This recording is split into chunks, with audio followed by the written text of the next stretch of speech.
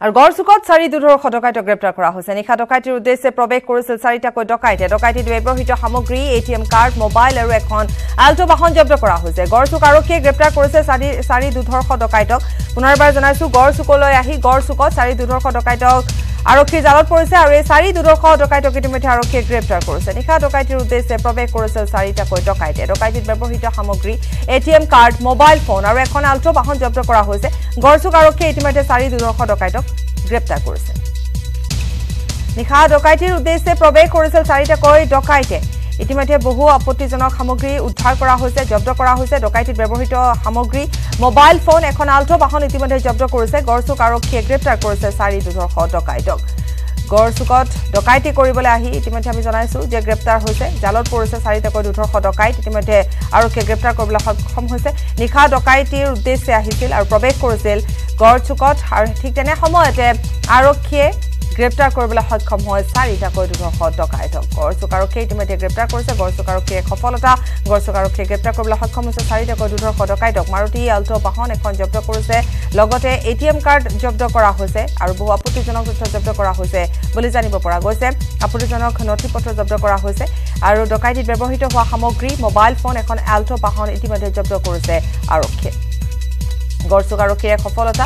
গ্ৰেপ্তাৰ কৰিছে চাৰিটাকৈ দুধৰ্ষ ডকাইতক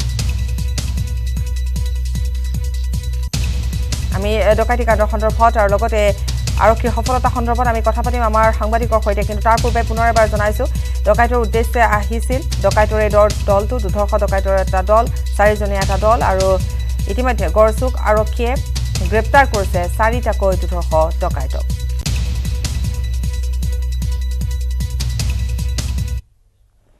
আৰু দিল্লী বিমান বন্দৰত দহ লাখতকৈ অধিক টকা কঢ়িয়াই নিয়া এজন অসমৰ যাত্ৰীক আটক কৰা হৈছে। নিৰ্বাচনী আচৰণ বিধি উলংঘা কৰাৰ বাবে আটক কৰা হৈছে যাত্ৰীজনক। দহ লাখতকৈ অধিক ধন সৰবৰাহ কৰিব নোৱাৰে গতিকে ধন সৰবৰাহে উলংঘা কৰিছে নিৰ্বাচনী আচৰণ বিধি। ধৃত লোকজন সন্দৰ্ভত এতিয়ালৈকে কোনো তথ্য সদৰি কৰা নাই ইন্দিৰা গান্ধী আন্তঃৰাষ্ট্ৰীয় বিমান বন্দৰ কৰ্তৃপক্ষই নিৰ্বাচনী আচৰণ বিধি উলংঘা কৰাৰ অপৰাধত ইতিমধ্যে আটক কৰিছে আৰক্ষীয়ে।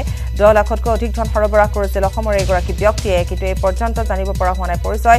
দিল্লী আন্তঃৰাষ্ট্ৰীয় বিমান বন্দৰত অসমৰ যাত্ৰীক আটক কৰিছে। পুনৰবাৰ জনাইছো নিৰ্বাচনী বিধি উলংঘা কৰিছে দহ লাখতকৈ অধিক ধন সৰবৰাহ কৰিছিল আৰু ঠিক তেনে সময়তে আৰক্ষীয়ে আটক কৰিছে। নিৰ্বাচনী আচৰণ বিধি উলংঘা কৰাৰ বাবে আটক কৰা হৈছে যাত্ৰীজনক।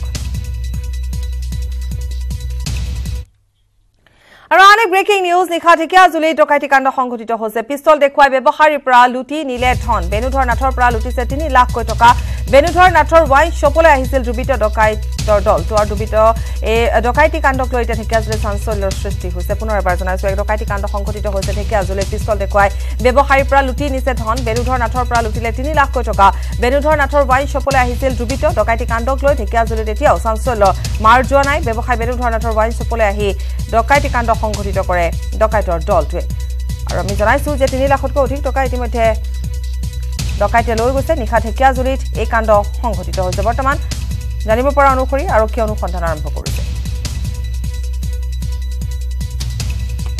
হোলীৰ খবৰ আমি জনাই যাম দেখুৱাই যাম সেই দৃশ্যসমূহ। কিন্তু তাৰ পূৰ্বে পুনৰ এবাৰ আমি জনাওঁ যে আজিও প্ৰকাশৰ আশা নাই বিজেপিৰ অসমৰ প্ৰাৰ্থী তালিকা। বুধবাৰে দিল্লীত মাজনিশালৈকে চলে বিজেপিৰ কেন্দ্ৰীয় নিৰ্বাচনী কমিটিৰ বৈঠক। আৰু এই বৈঠকতে অসমৰ প্ৰাৰ্থী তালিকা প্ৰায় চূড়ান্ত হৈছে যদিও এতিয়াও প্ৰকাশ কৰা নাই প্ৰাৰ্থী তালিকা। নগাঁও আৰু তেজপুৰৰ প্ৰাৰ্থীক লৈ বেমেজালিৰ সৃষ্টি হৈছে যদিও সকলো ঠিক কৰি চূড়ান্ত কৰিছে প্ৰাৰ্থী তালিকা। বহিৰাজ্যত একেলগে প্ৰাৰ্থী তালিকা ঘোষণা কৰাৰ বাবে বিলম্ব ঘটিছে অসমৰ প্ৰাৰ্থী তালিকা। অৱশ্যে নিশাৰ ভাগলৈ অথবা কাইলৈ প্ৰাৰ্থী তালিকা প্ৰকাশ পোৱাৰ সম্ভাৱনা আছে তেইছ মাৰ্চত পুনৰ বহিব বিজেপিৰ নিৰ্বাচনী কমিটিৰ বৈঠক। আৰু আজি নিশাৰ ভাগলৈ প্ৰাৰ্থী তালিকা প্ৰকাশ হোৱাৰ সম্ভাৱনা আছে। ঊনত্ৰিছ মাৰ্চ পৰ্যন্ত থাকিব কাৰাগাৰত। জামিন বিচাৰিও জামিন নোপোৱা নীৰৱ মোদী। ঊনত্ৰিছ মাৰ্চত আছে নীৰৱ মোদীৰ পৰৱৰ্তী শুনানিৰ দিন। বুধবাৰে অৰ্ধ নিযুত পাউণ্ড ধন বেইল বণ্ড হিচাপে আগবঢ়ায়ো জামিন নাপালে নীৰৱ মোদীয়ে। বুধবাৰে লণ্ডনৰ হলবৰ্ণ মেট্ৰ ষ্টেচনৰ পৰা স্কটলেণ্ড য়াৰ্ডে গ্ৰেপ্তাৰ কৰে নীৰৱ মোদীক নীৰৱ মোদীক প্ৰত্যাৰ্পণৰ বাবে ভাৰতে জনাই অহা আহ্বানৰ পৰিপ্ৰেক্ষিতত ব্ৰিটেইন চৰকাৰে এসপ্তাহ পূৰ্বে জাৰি কৰিছিল গ্ৰেপ্তাৰী পৰোৱানা। নীৰৱ মোদীৰ গ্ৰেপ্তাৰক আদৰণি জনাইছে। ভাৰতৰ বৈদেশিক মন্ত্ৰালয় পাঞ্জাৱ নেশ্যনেল বেংকৰ তেৰ হাজাৰ কোটি ধন আত্মসাত কৰি যোৱা বৰ্ষতে দেশান্তৰিত হৈছিল নীৰৱ মোদী। একেটা গোচৰতে সাঙুৰ খাই দেশান্তৰিত হোৱা নীৰৱ মোদীৰ আত্মীয় মেহুল চৌকছিয়ে ইতিমধ্যে লাভ কৰিছে এণ্টিগুৱা আৰু বাবুৰদাৰ নাগৰিকত্ব যোৱা পোন্ধৰ মাহে দেশান্তৰিত হৈ থকা নীৰৱ মোদীয়ে আইনী প্ৰক্ৰিয়াৰ পৰা হাত সাৰিবলৈ চেষ্টা চলালে।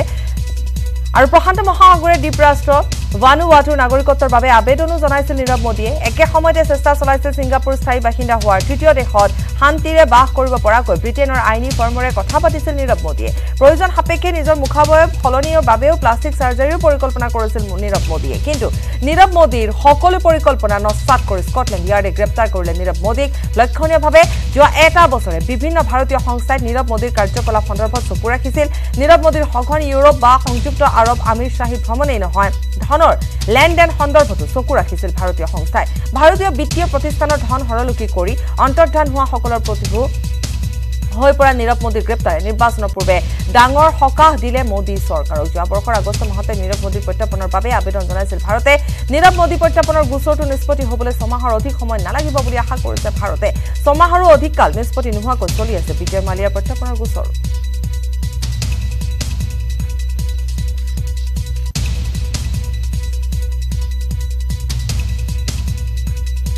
ইতিমধ্যে গ্ৰেপ্তাৰ কৰা হৈছে।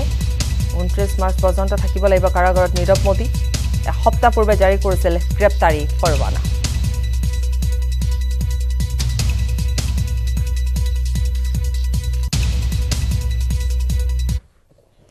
আৰু পুনৰ